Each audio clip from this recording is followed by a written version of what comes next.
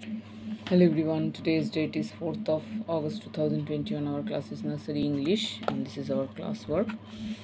So today we'll trace and write uh, letter F. F is for frog, F R O G frog. You have to buy her the spelling F R O G frog. বানানটা পড়বে এবং you have to identify the frog also এবং ব্যাংকটাকে চেনার চেষ্টা করবে frog মানে ব্যাং তো দেখো প্রথমে আমরা from down up down then first of all we give standing line then to sleeping line okay? Like this f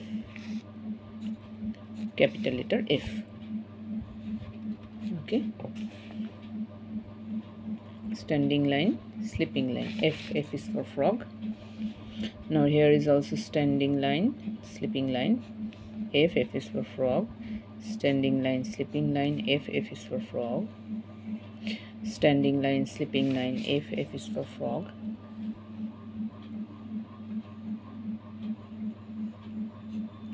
F is for frog standing line sleeping line standing line sleeping line. F is for frog standing line sleeping line.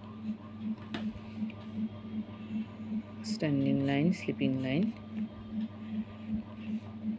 Standing line sleeping line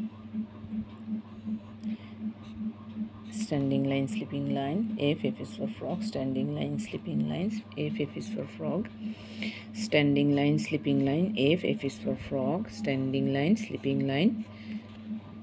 F f is for frog standing line sleeping line. F is for frog. So this is your uh, classwork. Thank you